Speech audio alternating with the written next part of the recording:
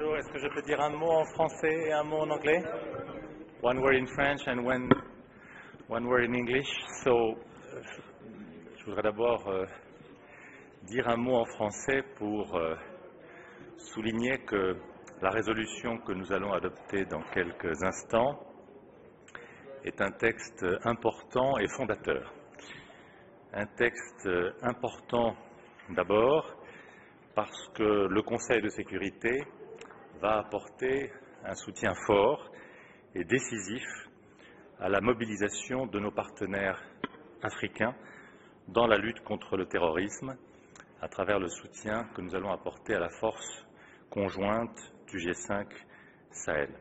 Ce texte est aussi, ne nous y trompons pas, un texte fondateur car il incarne une vision stratégique celle du partenariat avec nos amis africains dans le domaine de la paix et de la sécurité, dont nous ouvrons aujourd'hui, dont nous allons ouvrir aujourd'hui un nouveau chapitre.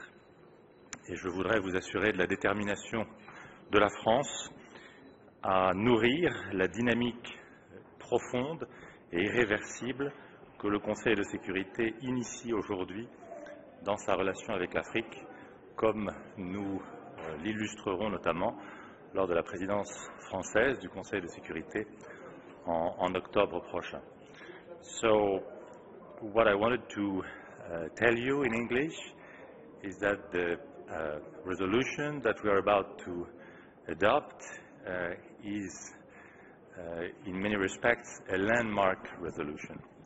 Why? Because, first of all, for the first time, in this scale, the Security Council will bring a strong and decisive support to the mobilization of our African partners in the fight against terrorism, and in this case, in supporting the uh, G5 Sahel force. So this is, in this respect, a very important resolution. This is also a landmark resolution because, make no mistake about it, with this text, we open a new chapter in our partnership with Africa.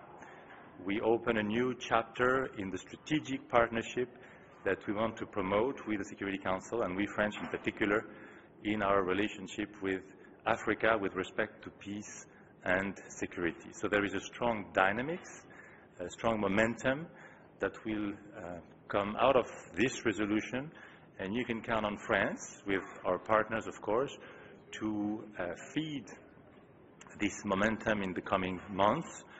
And we'll have uh, an important opportunity with the French presidency of the Security Council in uh, October. So that's the message I wanted to pass on to you before rushing to vote. One question, Ambassador. Are there what are the tangible elements of support? Chapter 7 authorization.